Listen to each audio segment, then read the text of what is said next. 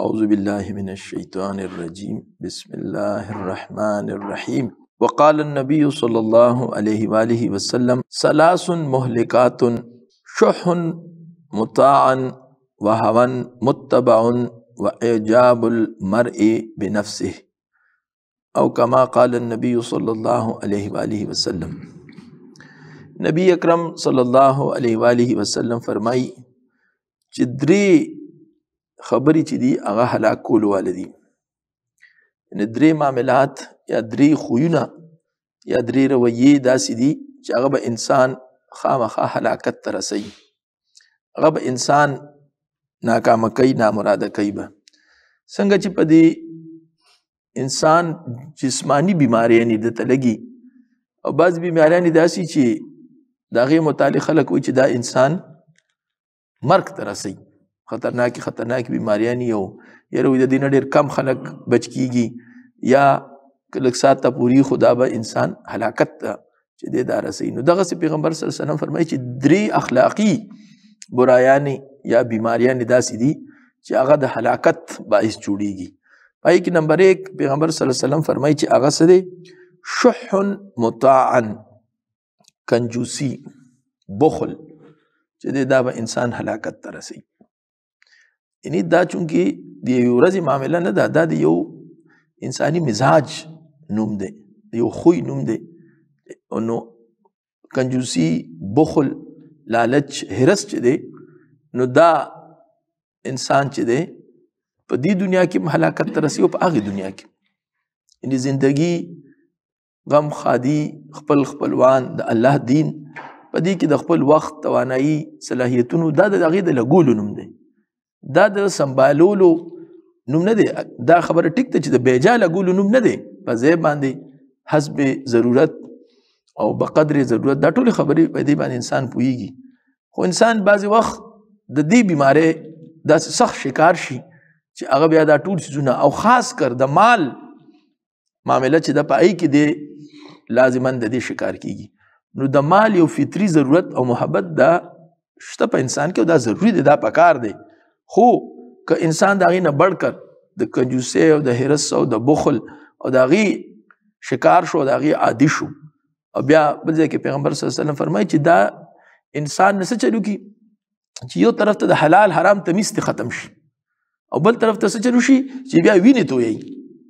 نو ظاهره دا چې دغه سيزونه ټول چې دي دا د انسان د هلاکت پای جوړي د دې لپاره مخکې نه پیغمبر صلی الله علیه وسلم او قران چې دی ازمو رهنمایي کوي چې د دې بیمارۍ نه خو اول ځان ساتي خو کو چرته تاسو ته محسوس کیږي نو بیا د دې تابع کوي بیا د دې علاج پکار دی او د دې ټول سيزونو د دې اخلاقی امراض او د دې علاج چې دی ادا الله کتاب دی دا خبره هم بار علاج هم الله را لېږلی دی خو دا علاج او دا بیماری دا اصل کې امتحان دی دا د دې زندګۍ سره تړلی دی یو انسان به وي چې دا اډوې نه په انسان کې نو داسې نه ده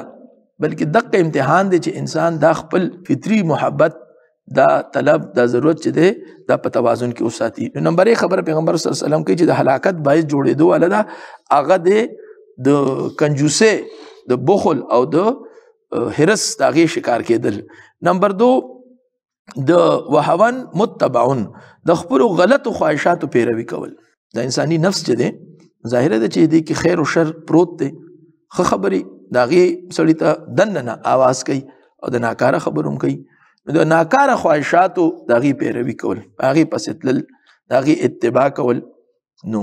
دا د انسان په خپل ځان کې ده پرون چې کوم روایت مونږه مطالعه کړو یې کوم دغه چې دغه خپل نفس کنټرول ساتل نو کنټرول نه مراد هم دا دی چې دا نیکه طرف ته خیر طرف ته بلای طرف ته هغه لار اپناول او چې کوم ناکاره او خراب او منفي سوچ یا خیال یا تصور یا احساس مخې ته راځي نو هغه رکاول دقه د انساني نفس کنټرول دی او دا صرف داسې نه وي بلکې دا په انساني زندګۍ کې په اعمالو کې دا بیا ښکاره کیږي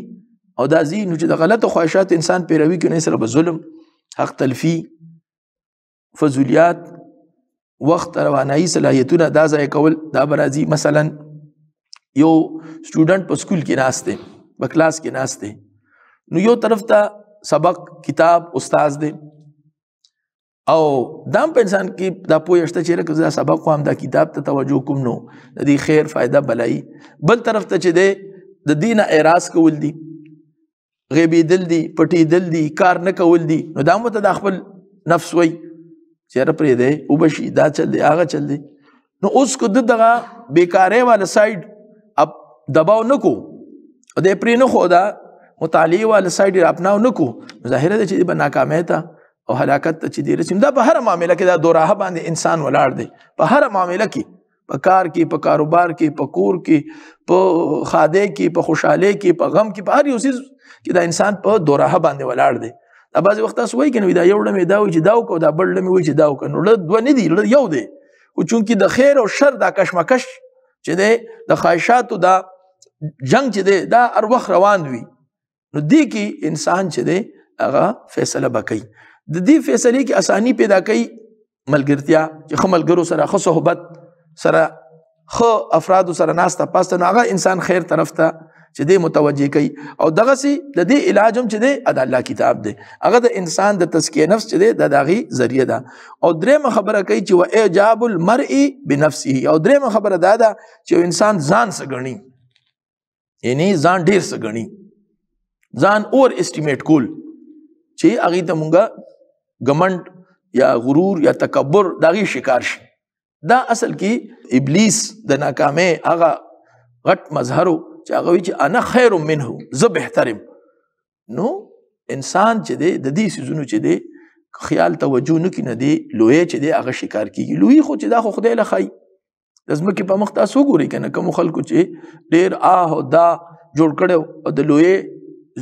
شور او زور جوړ کړو نن څه حل شو نن څه شو هغه خلک انسان دې د دغه سيزونه چې دی عبرت والی او انسان دې به حیثیت انسان سوچ کوي هغه انسان چې دی مونږ وایو انسان عاجز دی نو دا خبره په کولو کې اسانه ده هو واقعي چې انسان چې دی هغه ځان عاجز وګڼي د دې سره څه کیږي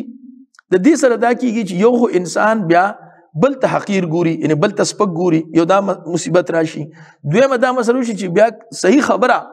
د حق خبره هغه دې نه اکسپټ کوي هغه نه قبلي هغه جټلاولو کوشش وکړي نو دا درې قسمه سيزونه پیغمبر صلی الله علیه وسلم فرمای چې دا د انسان د هلاکت باعث جوړیږي